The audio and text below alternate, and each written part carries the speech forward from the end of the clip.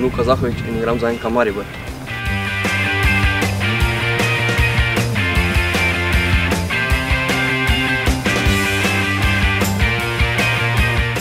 Igram napadalca, v reprezentanci pa takoj za napadalcem.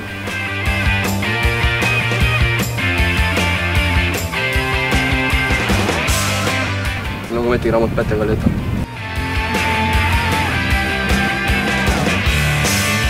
Nogomet me je dušil moj oče.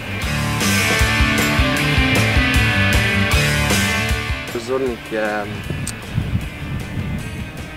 Zbravom Aleksandar Freja, in ostanek je bil pač prvi igralec, ki sem ga občudoval.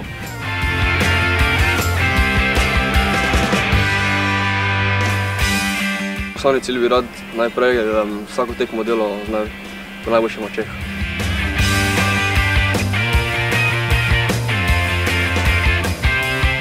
Definitivno je določena razlika, v stanci se bolj je večji poudarek na taktiki, zato ker pač imamo dosti manj treninga skupaj.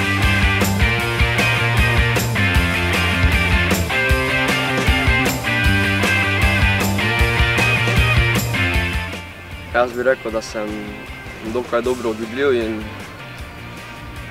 in spreten po pristopu.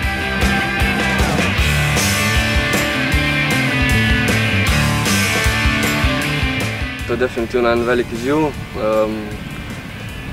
seveda zaradi tega, ker igramo pred domačo publiko in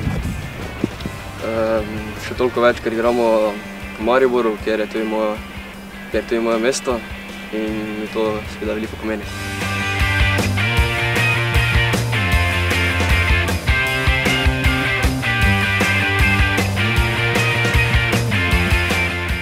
Razumem se z vsemi fanti, vsi so dobri fantje, vsi smo dobri prijatelji, tako da, ne vem, se z vsemi.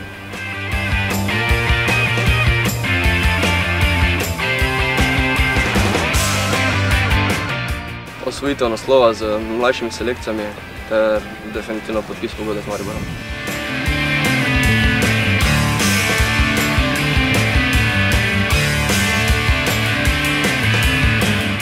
Na evropskem prvenstvu bi bil zadovoljen samo z naslovom.